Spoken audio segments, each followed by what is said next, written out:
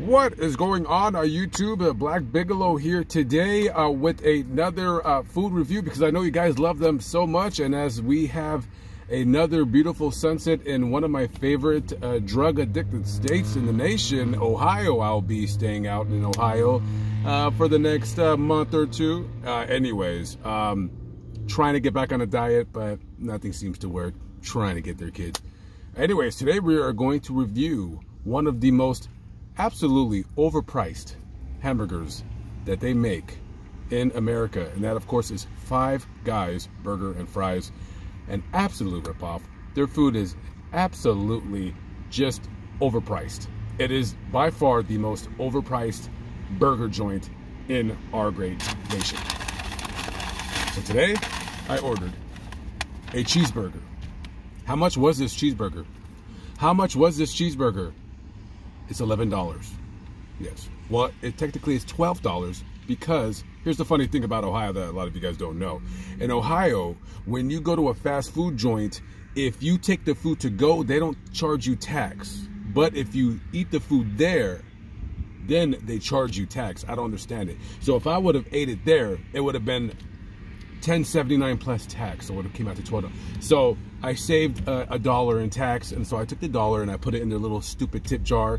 So in a sense, this burger was $12. I don't even know why I gave them a dollar. Uh, this whole tipping thing is just getting out of control. I, why should I have to uh, pay pay you money? Uh, why should I have to subsidize your employees because you're not paying them a, a wage? Anyways, enough about that. Let's review this damn hamburger. Okay, $12 cheeseburger, hamburger, cheeseburger, whatever. Let's open it up.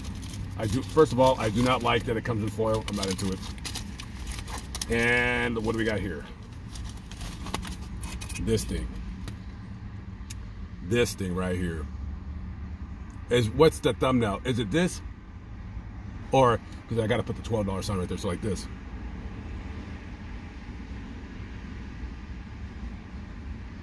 That's the thumbnail. Okay, cheeseburger, $12. What does it come with? Who cares? Yeah, well, no, let's talk about it. It comes with some kind of mushrooms and onions and cheese and tomatoes. Okay, let's just eat this damn thing.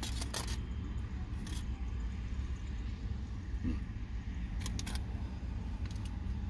12 freaking dollars.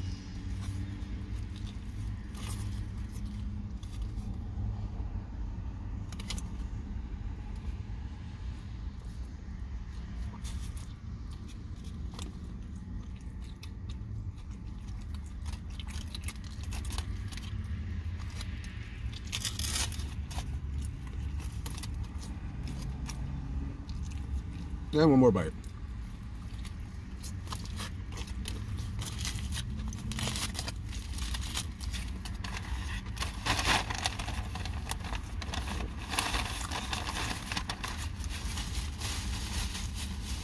Yeah. Well, I'll tell you one thing. It's way better than Wahlburgers because Wahlburgers is absolute garbage. And that Black Guys hamburgers in Dallas. Um, when I review food, I factor in the cost and the taste. Now, the hamburger is good. Um, there's too much crap on it.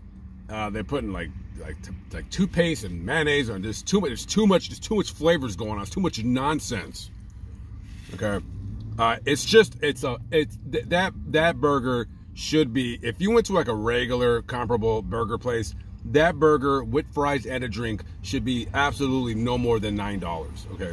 Okay maybe ten dollars with drinks and with the drink and french fry okay?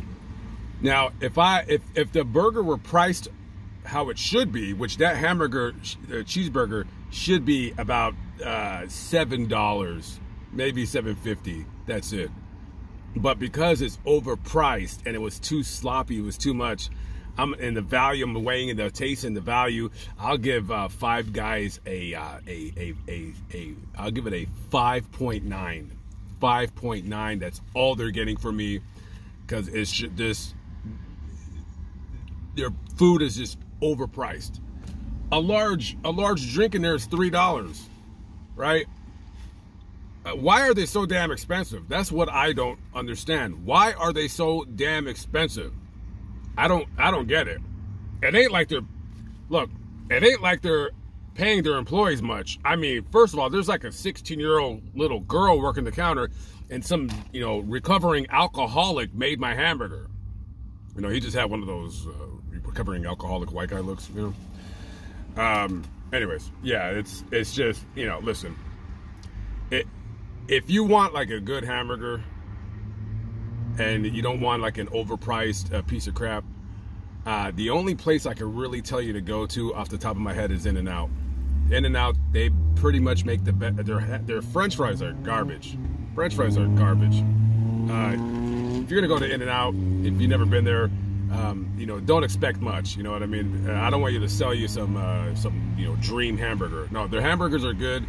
Um, I'll give my review when I next time I eat one, but their hamburgers are good, right? and and what is it? What is a double double like five five dollars and change? And then these clowns are charging. They charge double the price of a double double.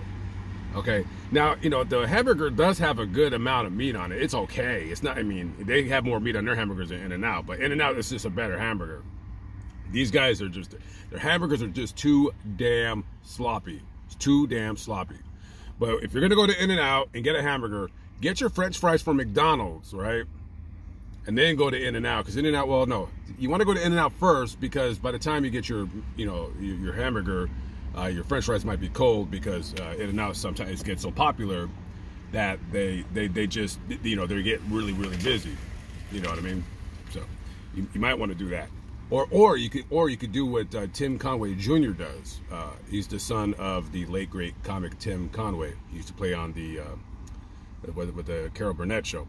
What he does is uh, he goes to Taco. Uh, no, he goes to Jack in the Box. He gets two tacos, right? Because they're really really hot, and he uses that as a heater. And then I think he goes to McDonald's and gets his French fries, and then the tacos they keep the French fries hot.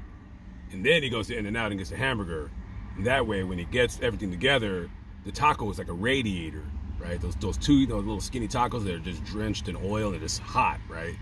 I mean, dude, dude, you can, dude, you can. Those those tacos are so hot, you could actually threat, threaten a woman's life just by like throwing them in her face or something. You know, I don't know why you would want to do that, you sick bastard. But anyway, that's what he does.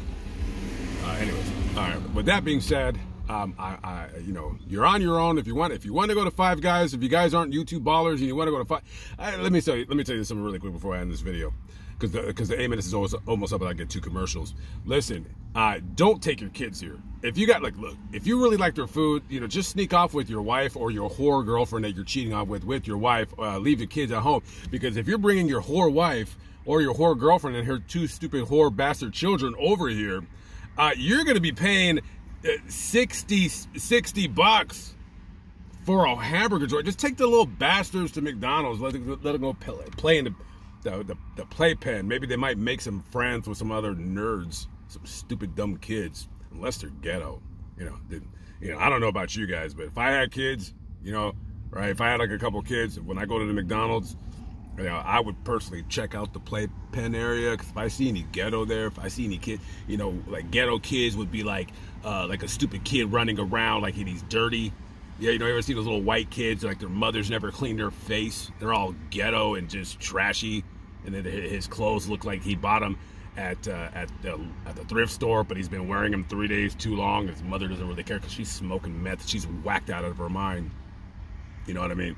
Or or, or you, you, got like little like little ducks there as uh, black kids and like mother mother, who that who that what up nigga West Side nigga motherfucking BDK nigga all day long. Okay, or they could be Latino.